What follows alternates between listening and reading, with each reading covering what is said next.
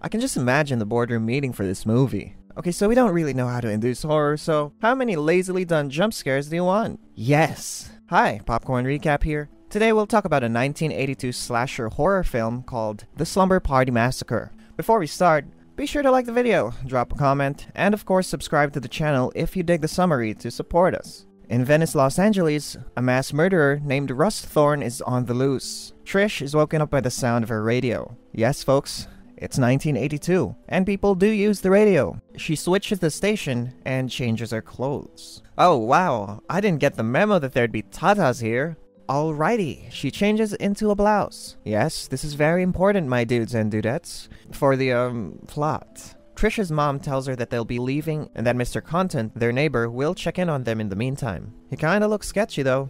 At school, Jeff asks out a telephone lady. However, as she goes to her van, she's taken by a mysterious man. Whoa, I wonder who this guy could be. She gets murdered as the guys leave. Meanwhile, at the gym, the girls are playing basketball. Diane acts like Kobe and hogs the ball. The guys watch on the side and admire the new girl Valerie. Valerie scores and the other team scores as well. Later, the girls Trish, Kim, Jackie, and Diane head for the showers. And we're shown Le Boutte and some more tatas. Okay, as much as I appreciate this, there's absolutely no reason for the cameraman to focus on Libute. The girls plan on having a party, and Trish decides to invite Valerie. However, in the locker room, Diane tells Trish that she doesn't want anything to do with Valerie because she's a snob.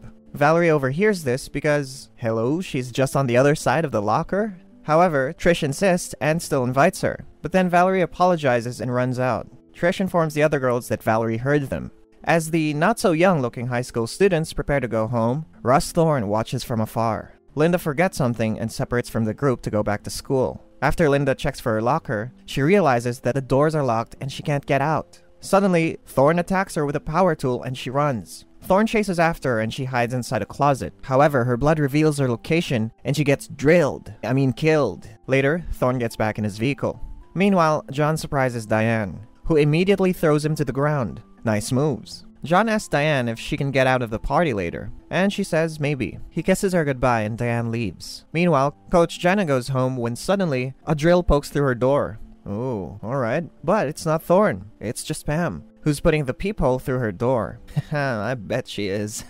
Later, someone knocks on Trisha's door, but nobody's there, and the door's open. So she just locks it? I don't know, Trish. I think you should be calling the cops at this point. She decides to play the piano instead. Meanwhile, someone's already inside the house. As Trish tries to get out, a hand grabs her. But nope, it's not Thorn, just Contant.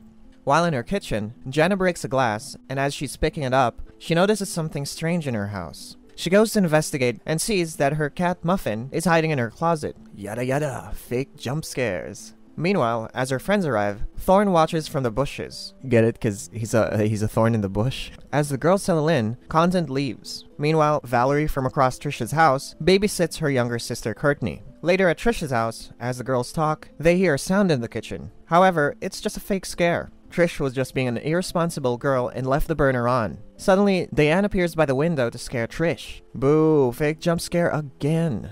Meanwhile, Valerie stays with Courtney when suddenly they hear a sound outside. They think it's just a dog scouring through the trash again. Slasher films get kinda repetitive, huh? Ooh, strange sound. Let me check it alone without bringing anything for self defense on me. Mm hmm, very smart. Valerie checks on it and cleans up the trash. Meanwhile, Courtney runs upstairs to read a Playgirl magazine. Suddenly, Valerie sees that their swing is suddenly moving, so she runs back inside. Smart. Meanwhile, the two boys, Jeff and Neil, arrive at Trisha's house and watch the girls change clothes from the window. Valerie asks Courtney what she's doing. Courtney claims she's studying, but Valerie knows she's reading something naughty. As Trish orders pizza, Diane goes to the garage to fetch logs. She sees a snail and it startles her, but Contant suddenly appears with a knife to kill the poor critter. Uh, more fake jump scares. Yeah, real creative there, folks. As Diane heads back inside, Contant gets killed by Thorn. Uh, why do I feel like I'm rooting for the killer here?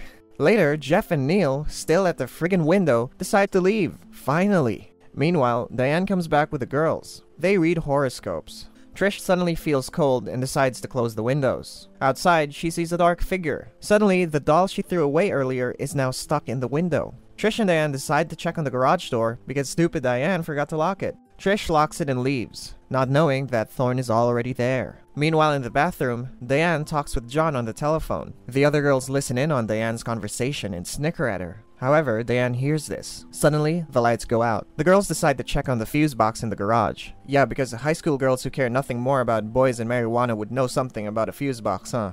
Trish, Kim, and Jackie head to the garage, leaving Diane behind. Suddenly, Diane scares them with a fake jump scare, because that's not gonna get old really quick, right? Suddenly, once more, Jeff appears so he gets slapped the F out. Turns out, Jeff and Neil took the fuses. Great, now they're trespassing. Meanwhile, Valerie's still studying. Guess what happens next?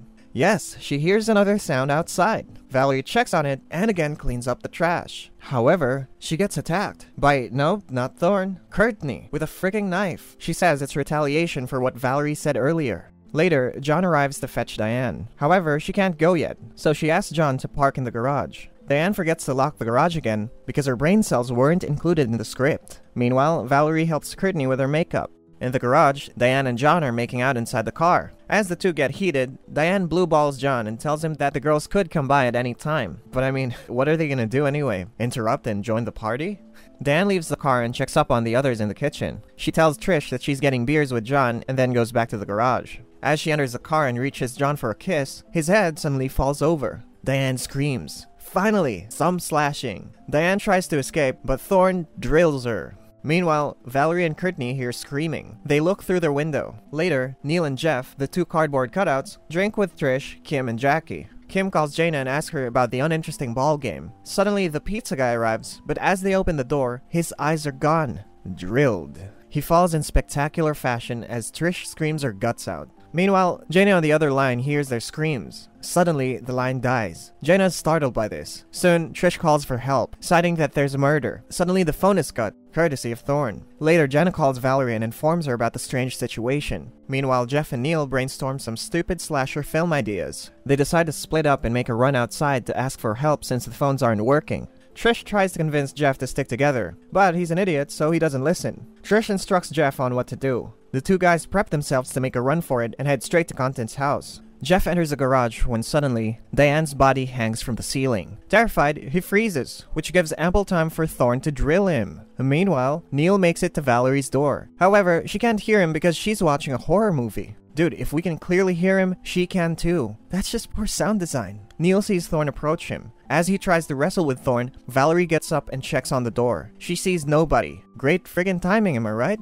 Neil gets stabbed multiple times in the chest. Meanwhile, Little Thought here is talking to her friend on the phone about French kissing. Later, Thorn takes Neil's body into the garage. Man knows how to clean up. Nice. Thorn realizes that there's one missing. Jeff, who's desperately crawling back to Trisha's house. Inside, the girls cover up the dead pizza boy. Meanwhile, Jackie, the psycho girl here, decides to eat the pizza from the delivery guy's corpse. Meanwhile, Jeff is at the door making sounds. The girls investigate, but they don't open the door. Unfortunately, Thorn is already behind Jeff and murders him. You friggin' idiot. You really couldn't make a sound to call for help inside? Why are we friggin' rubbing the door like Mr. Miyagi's wax on, wax off? Jesus Christ. He gets drilled, of course. Good for him. Meanwhile, Jana drives out, still concerned about the girls. Yeah, because the screaming girls weren't enough for her to call the police. Back inside, Valerie looks for Courtney. However, she sees her head out. Stupid kid. As Valerie looks for Courtney, she knocks on Trisha's door but leaves. Because that's what you do after knocking on someone's door, right? You immediately leave right after? Mr. Thorn, can you please murder everyone here? I'm rooting for you, man. The girls inside hear this, and Jackie runs to the door. As she opens it, however, Mr. Power Tool rips her throat out. Ah, cathartic. The girls run back to the room. Meanwhile, Valerie is still looking for Courtney, who suddenly appears behind her. Valerie senses something weird going on and decides to leave Courtney to check the front door again. Courtney gets scared. Oh, so now you're scared, Courtney McFly. No cap though, she does kinda look like Marty McFly. Valerie checks on the front door again and sees that nobody's home. The two girls hear her. However, since Trish is suspicious, they don't make a sound. Valerie leaves and looks for Courtney, who's now missing again. Thorn sneaks into Trisha's room through the open frigging window. For some odd reason, they're able to knock Thorn out with a baseball bat. I can't with this movie. The two girls hurry to get out. However, Kim gets stabbed, so Trish leaves her. A true friend, I reckon. Meanwhile, Valerie is still roaming around like a friggin' idiot looking for Courtney. She sees her lying on the ground. But oh no, she's not dead. She was just pretending. Because that's the appropriate thing to do.